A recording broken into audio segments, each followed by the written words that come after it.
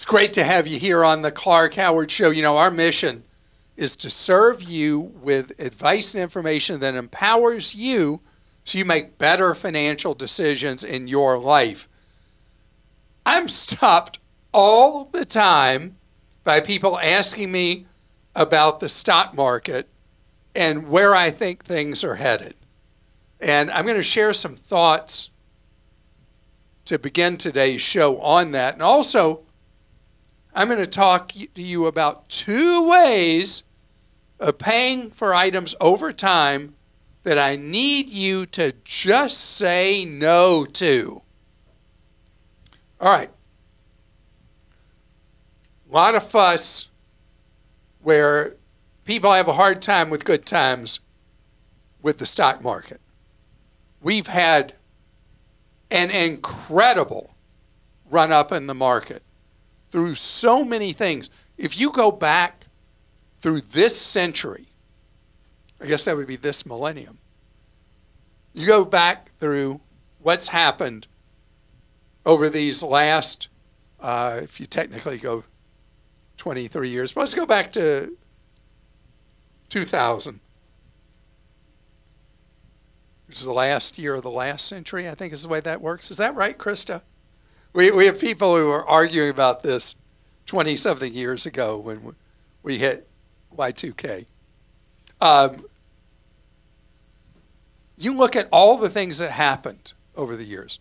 We had the dot bomb bust, we had the brutality of 9 11, we had the Great Recession, we had COVID. What have I missed? The world always will have unexpected events good, tragic, terrible, just bad. It'll have recessions. It'll have, uh, hopefully, not depressions, boom times, exhilaration, and then too much pessimism and everything in between. We have been on an incredible roll with the market in recent years in particular.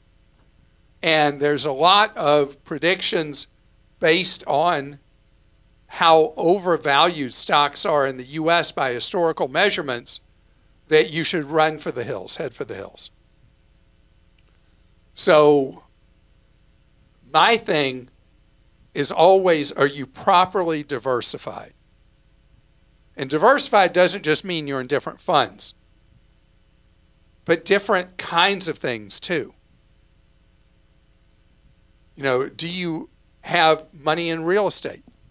Do you have money in big companies, small companies in between, and stock type holdings? Or is your money spread out and not buying stories? You know what story stocks are?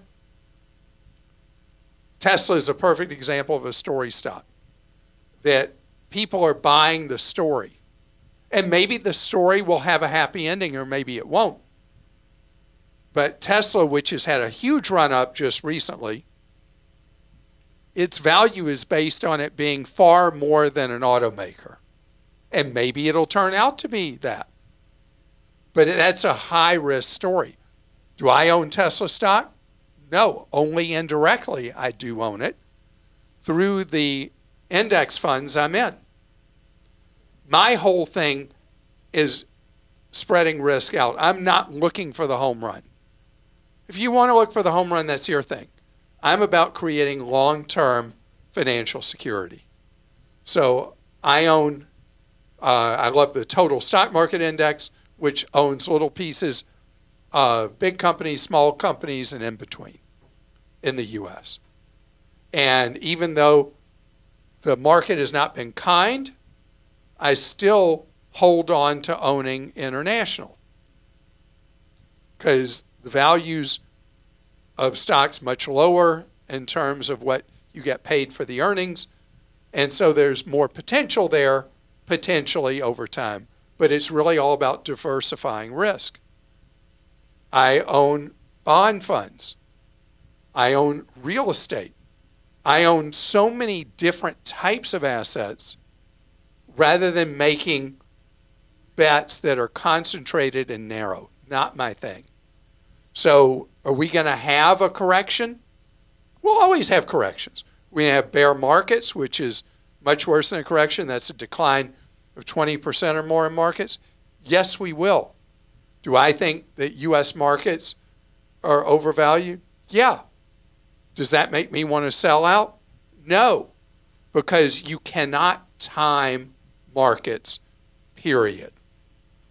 I meant to read this before you did that segment, but I'll just quickly read. To Chris in Tennessee, you've advised to invest into an index S&P 500 fund outside of retirement investing.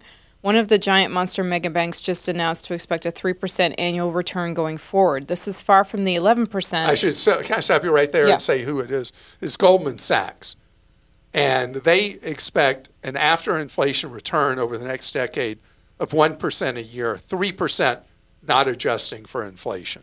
Right. And he said this is far from the 11% return from the past decades. I never try to time the market, but is this an indicator to take a different investment past? I'm a little anxious about this announcement. Would appreciate your advice, and I can't thank you enough for all your guidance over the years. My daughter's a senior in college and off to grad school, and my 529 will cover it all thanks to your advice. This and all of your investment and travel tips have made a big difference to my family. Thank you very much for that, Chris.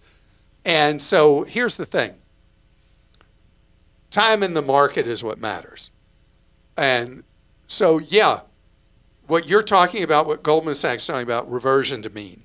That if stock returns have been historically uh, above average, then you have a period uh, below average returns. But we don't know is that starting in 25? Is that starting in 26, 27? So it's hard to know. And there are reasons why um, the returns may actually not go as low as Goldman Sachs thinks because we have such an enormous focus on technology and we're leading the world. Our market share of technology around the world is so large that, eh, that we may be in a cycle where returns stay higher than normal for potentially years to come. But the, the best defense against this is my obsession with dollar cost averaging.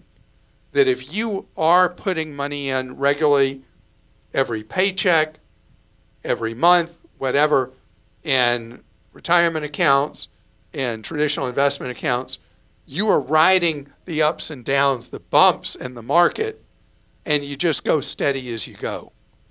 And so I am comfortable staying in my mix of investments that is very widely diversified.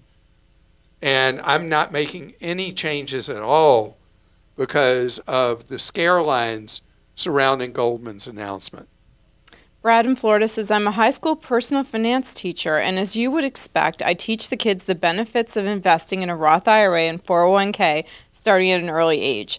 The popularity of the standard retirement investments like target date funds and S&P 500 funds combined with the fact that people get taught this at a young age now, combined with the fact that many employers are now auto-enrolling people, I'm starting to wonder if this is one of the reasons the stock market is currently way overvalued by all indication indicators. What are your thoughts on this? And if you think this is true, is this a sustainable way for everyone to save for retirement?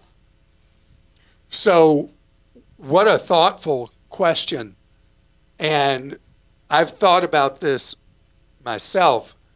You know, does this emphasis on individuals, small investors, owning more and more of the market lead to it being inflated, and particularly with the target retirement funds and the index funds, because they're, they're, uh, the index funds are passive choices just set by what are the 500 largest companies or 1,000 largest companies or whatever index they're using. And then with the target funds, many of them being a mix of index funds, you got this investing going on automatic pilot. So with an aging population, I've decided I'm not that worried about it because we're in a stage where as people come into the workforce, we right now potentially have more people leaving the workforce starting to withdraw from the funds that they accumulated over the years. And so I'm feeling like we're at an we're getting to a point with an equilibrium that you're not going to have to worry significantly about people as individuals going into index funds and target retirement funds distorting values in the market because money is starting to roll out of the market too from individuals. Just my guess. AR in Georgia says with the latest hurricanes and flood damage, is it safe to buy a new or used car? Undoubtedly, both new and used car dealers and individuals have suffered damage. Thank you. And we've not talked about this following Helene and Milton. And again, to the people suffering so much from the nearly back to back hurricanes, my heart goes out to you. It is a life changing event that for many people is hard to overcome when all the things that felt stable in your life suddenly get swept away, including maybe a loved one who uh, passed away or was injured from one of the hurricanes. And so this is an after effect that I've held off talking about so far, but I was going to talk about it in just a few weeks. The thing about cars, that there's a big problem with states that don't have good titling laws, where people literally, uh, the term, it's a figurative term, but what they do is they wash the title. They move it through a state motor vehicle department that doesn't have tight controls. And a vehicle that has been flooded out suddenly is back in the market as a used vehicle. And you're buying trouble not realizing that it was reconditioned to look good, but you're buying nothing but a rusting hulk underneath. So the problem for new is not significant because of state lemon laws. If a dealer sells a new vehicle that has been through a flood and sells it to you as if it's a fine new car, uh, you would be able with the manufacturer, when problems start to appear, to do a lemon law buyback. And nothing like that exists for used vehicles. That's why in a cycle following a hurricane or a major flood, it is far more important than even normal times to have it checked out by an independent mechanic of your choosing before you buy a vehicle or if you buy from CarMax or Carvana where you have the time period you can return it for a full refund. In that time period, in that trial period, have it inspected by a mechanic of your choosing who will be able to spot telltale signs that the vehicle has been through a flood.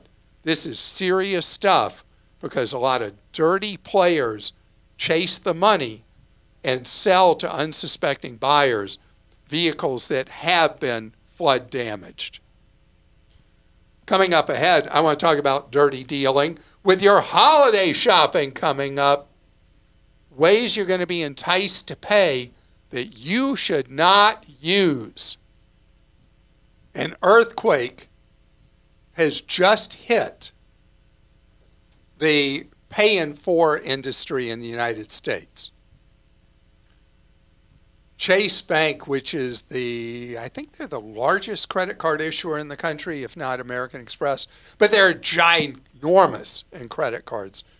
Chase, which the rest of the industry tends to follow in lockstep, has now banned you making payments to the Pay in 4 apps by doing any kind of cash advance or anything against your Chase credit cards. Why?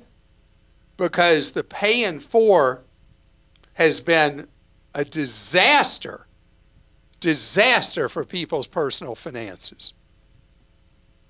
Because what happens is people dig a debt hole then they're trying to transfer that debt hole to Chase, and they're like, no dice. You're not doing that. You're not going to default on our credit card because you're looking at defaulting on the pay in four and you're transferring that risk to us. Pay in four is terrible. And everywhere you go online, everywhere. I saw it the other day at a tire center pay in four. Oh man, do I despise pay in four? At the register at a retailer. I mean, just about who knows? Some point, restaurants for expensive meals are going to offer you pay in four as an option. Disaster. Disaster. Because they say four easy payments. A lot of times, no interest. Yeah. So, you got roughly a one in three chance you're going to mess up with a pay in four. One in three. You're not going to pay on time. Your credit's going to be trashed. You're going to be paying the equivalent of interest and all the fees that happen, and ultimately potentially ending up in the hands of a bill collector. And what pay in four, the reason it's so popular with online sellers and retailers is that you buy things, it pushes you over the line. You buy things you might not have bought otherwise. You may already be wheezing a bit from your credit cards. And you're like, I better not charge anymore on the cards. I think I'll put that back. And then there's the sign saying, for easy payments. Easy for who or whom, whichever I'm supposed to say. Don't do it. Okay, that's rule number one. And I'm not usually into like firm absolute. Maybe somebody in a Clark Stinks will say, I'm missing something. There's a situation that would be okay to use pay in four. Maybe. Okay. Other one 90 days, same as cash. One year, same as cash. The furniture stores, two years, same as cash. Known in the lingo of the trade as no, no, no plans. The no, no, no I want you to know is you don't use them. Okay. The way no, no, no plans are set up is they count on consumer behavior. You buy whatever on the no, no, no plan the big screen TV, the furniture, whatever it is. And you get the interest free period. But in almost all no, no, no plans, if you don't have it paid in full before the date that represents the eight, you know 90 days, 180 days, one year, whatever, you don't get it paid before that's up.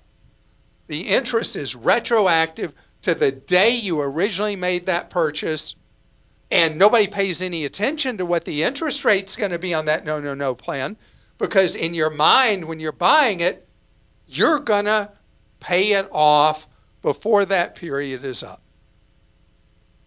A lot of times people forget about it. Or whatever the circumstance, you don't have the money. And then it springs back retroactive. And the interest will be very interesting, somewhere 35 to 40% on that no, no, no plan. If you at that moment you were taking out the no, no, no plan to buy whatever, if you thought in your head, huh, this is 35% interest. Do I really want to pay 35%? In other words, think about instead of how we normally process as humans, where you are only thinking about, hey, they're going to let me have the use of their money for a year for free or six months for free and it making you feel like the purchase is better and you should do it, don't. No, no, no. Hey, you know the funniest thing about no, no, no's? Do you know what the retailer does with the no, no, no paper? They sell the paper immediately at a big discount to somebody who then shoulders the risk, who then is hoping they're going to make a big amount of money from all the people who don't get the plans paid off in time. So remember, the retailer sold you something at whatever price. But then they're not really getting that price because they're having to discount the paper to who they sell it to who carries it. So you're paying more for whatever it is you're buying up front, even if you get it paid off in time, than you would if you just simply bought whatever it is you're buying at a better deal from a place that isn't dangling in front of you a no, no, no plan. Right. I'm just no fun. I am Ebenezer Scrooge already in November, aren't I? Not true. Not true. Okay. I, I think I am. We'll go to some questions Okay. now. Tara in Connecticut says, First, thanks for being a broken record on freezing credit reports, as I finally did it last month, and now I'm trying to convince my family to follow suit. Recently, I went on a trip to London to celebrate my 60th birthday. Happy birthday. birthday. You only look like you're about 45, though. Prior to leaving, I verified online that my Amex Gold card doesn't charge foreign transaction fees. As a result, I felt comfortable using my Amex in lieu of my Visa for the week long trip. That is until my recent statement was issued, and Amex assessed me significant foreign transaction fees, in particular with my hefty hotel charge. When I called them, they advised me that I have a traditional gold card, which charges such fees. While I'm fully aware of the offering of the differing benefit levels between their green, gold, and platinum cards, I was perplexed as I didn't know there were varying tiers of their gold cards. In fact, their current green card doesn't charge for foreign transaction fees, whereas my gold card does. As a 35 year customer, I can't help but feel duped by Amex and I'm considering closing my account. What do you think of this scenario, and do you have any suggestions for me and your followers? Yeah, I mean, uh, American Express, if you go to their website and you go to the pick a card thing, it is so confusing because gold isn't necessarily the only gold, and platinum isn't the only platinum, and they've got all these different colors and all these different offers and all these different partners for them. And so the color no longer means what it used to mean at American Express. Uh, as an example, an American Express Platinum is completely different than the Delta Sky Miles American Express Platinum. There, there's no similarity between the two of them. And so with Amex, the one time you have their attention is at the time that your annual fee is due and you say, I'm not going to renew. And at that moment, the retention specialist may say, Why? And you say, Because I got ripped off by you and I was charged and give the specific amount that you were charged, and I got blown off when I called about it. And so at that point, you may get some satisfaction. The other thing you could do is you could file a complaint at bbb.org. American Express considers itself and uh, pretty much is a very legitimate company. And so they don't like to have a bad rep with the Better Business Bureau.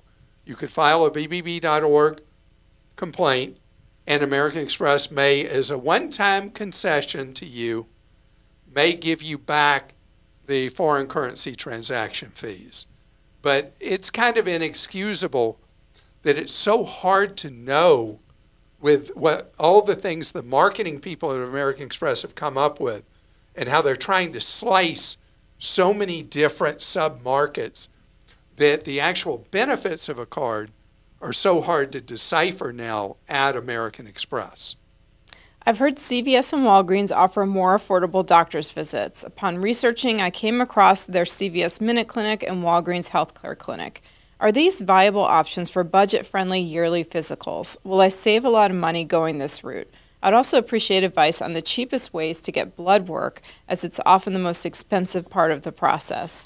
Does it work the same with the blood work where CVS or Walgreens will call me with the results or is there a different procedure? As a healthy 50 year old man with no family health issues and no insurance, I'm exploring my options. Would you recommend these clinics or are there other similar affordable alternatives that I should consider? Okay, that was a lot of stuff all at once. Uh, so if I miss anything, please remind me.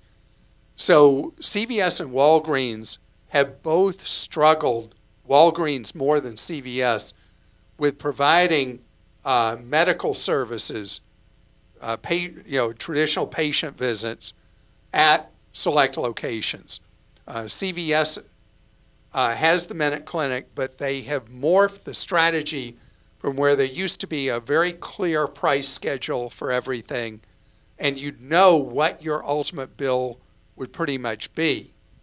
Uh, Walgreens has, in a lot of markets, has given up and turned the spaces over to a dual branded Walgreens tied in with one of the hospital systems in a market that the hospital wants to be in there as a feeder for hospital owned specialty practices and for patient admissions ending up at their hospital versus another one.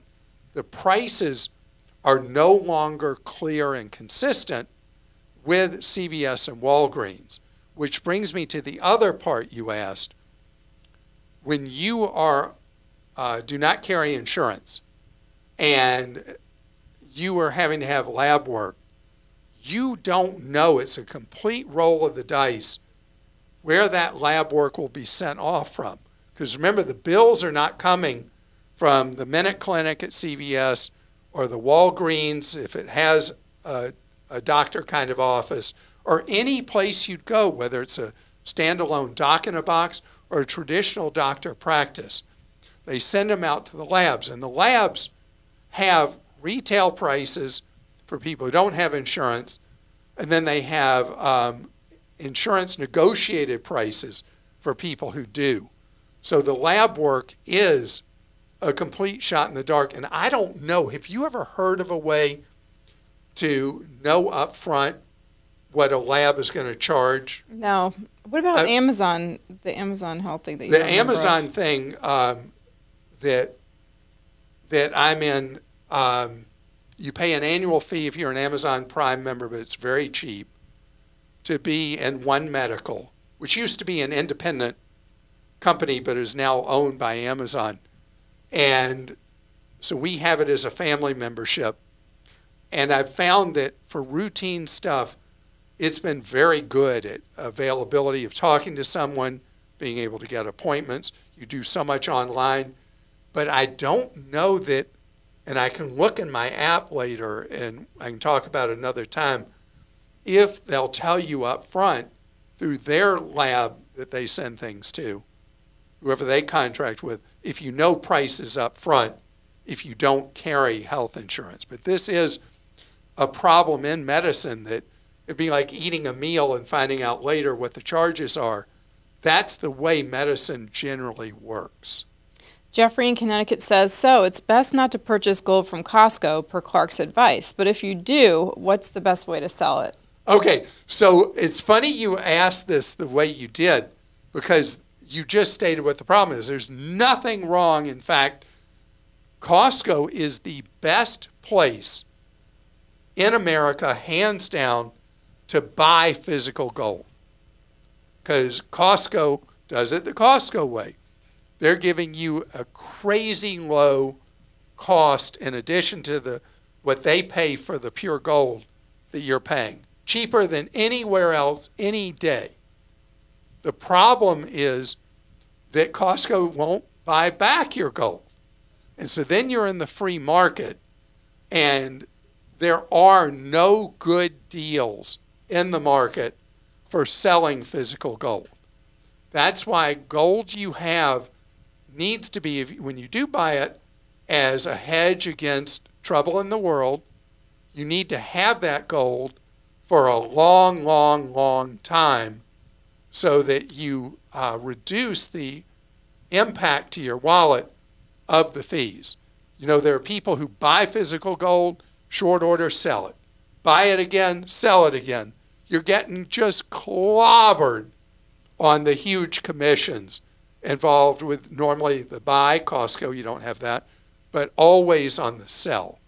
So you just have to shop around and see what the least harmful commission is you can find on selling gold. It's why I love buying gold funds instead of gold, where easily you can buy in at any time, sell at any time at extremely low cost almost no cost for the buy or the sell. And I want to thank you so much for joining us today. And this is a, a big week in the United States, election week. And, Christa, I'm going to say it again. Get ready for the Clark Stinks. Regardless of whether your candidate or your party emerges uh, victorious, this is a strong country and we will be fine regardless. I believe in the United States. I love this country. I'm so glad that I can wake up every day and know that I live in the greatest country, in my opinion, the world has ever known. And so we will be fine. I know it. And I know also that the Clark Stinks are a coming. But know what we're about. You learning ways to save more, spend less, and avoid getting ripped off. See you tomorrow.